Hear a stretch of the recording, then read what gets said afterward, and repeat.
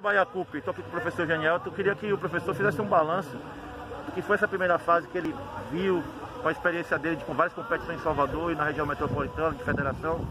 Então fala um pouco da experiência do que ele viu aqui, com esse limite de falta, com os protocolos sendo feitos pela, pela organização da Baiacupi.